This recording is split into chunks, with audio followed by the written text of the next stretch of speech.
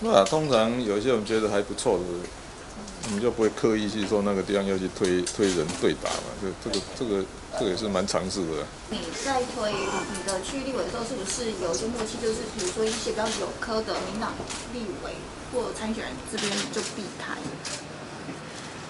那通常有一些人觉得还不错的，我们就不会刻意去说那个地方要去推推人对打嘛。就这个这个这个也是蛮尝试的。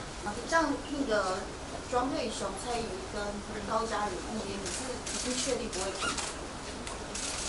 那不过事实的真相是这样的，我们本来就就没有办法找到那么多人嘛。那刚好那些地区也也没有特别的人要提耶。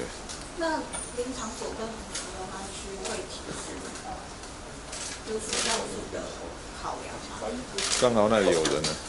坦白讲，一个新兴的政党没有办法每一个每一个区域都有办法提人呢，所以有时候有时候就说，如果没有说啊非常好的人选，那就算了，跳过去这样。不是靠那种跟你没有了，没有那个这个不是唯一的考量因素嘛。不是，你现在预预计会推几次？